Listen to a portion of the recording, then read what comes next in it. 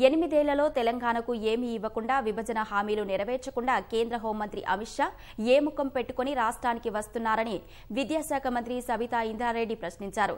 తెలంగాణకు కేంద్రం ఏం చేసిందో చెప్పాలని డిమాండ్ చేశారు. ప్రజల మధ్య విద్వేషాలు రెచ్చగొడుతూ అభివృద్ధి రహిత పాలనను కేంద్రం సాగిస్తోందని సబితా మండిపడ్డారు. రంగారెడ్డి జిల్లాలో ఫార్మా సిటీ పాలమూరు రంగారెడ్డి ప్రాజెక్టులకు అడ్డంకులు కేంద్రం అడ్డంకులు సృష్టించిందన్న సబిత ఐటీ ఐఆర్ను కూడా రద్దు చేసిన విషయాన్ని మంత్రి గుర్తు చేశారు. ఎంఎంటీఎస్ సర్వీసు పొడిగించేందుకు సైతం కేంద్రం మొండి చేయి చూపిందని ధ్వజమెత్తారు. గ్యాస్ ధరల పెంపునకు నిరసనగా బాలాపూర్ చౌరస్తాలో ఆదివారం ఉదయం పది గంటలకు మహాధర్నా నిర్వహించనున్నట్లు సబితా తెలిపారు.